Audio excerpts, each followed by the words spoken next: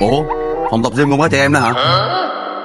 Trẻ em á là có được tập gym hay không á là cái câu mà gọi là câu hỏi của rất là nhiều phụ huynh và cũng là thắc mắc của rất là nhiều người. Thì hôm nay á nhân dịp này thì phạm huy sẽ giải thích trẻ em từ 12 tuổi trở lên là tập gym được rồi. Trẻ em tập gym á thứ nhất là giúp cho trẻ em thoát ra cái vấn nạn là sử dụng điện thoại trong thời gian rảnh. Tập gym sẽ giúp cho trẻ em tăng chiều cao không bị béo phì không bị gọi là tự kỷ. Ngay thời điểm này là đang bị mắc nhiều cái bệnh đó. Nhưng mà vấn đề tập gym á thì cái điều đầu tiên mình khuyên á khi các em vào phòng gym các phụ huynh nên nhớ rằng là phải có huấn luyện viên cá nhân để theo ra từng giáo án tập luyện cho phù hợp với lại trạng thái sức khỏe con của mình. Khi tập gym trẻ em không được tập quá nhiều vì thời gian tập quá nhiều thì em bị lao lực, nó sẽ không còn cái sự tập trung trong cái việc học nữa. Nên là trẻ em chỉ có ăn và học và chơi thể thao thôi. Cái từ chơi thể thao là cái từ mình chơi trong thời gian rảnh, mình chơi trong lúc mình thích, chứ mình không có chơi trong những lúc mình bị cưỡng ép. Nên là trẻ em nên tập gym một tuần hai buổi và bơi lội một buổi. Là một tuần trong ba buổi đó là sẽ giúp trẻ em tăng chiều cao, xả stress và học rất là hiệu quả. Như em bé này, một tuần lễ em bé sẽ bơi vào một ngày thứ bảy và tập gym trong hai lần. Học về rồi ghé vào phòng tập. Tập khoảng chừng 45 phút tới một tiếng là ok rồi.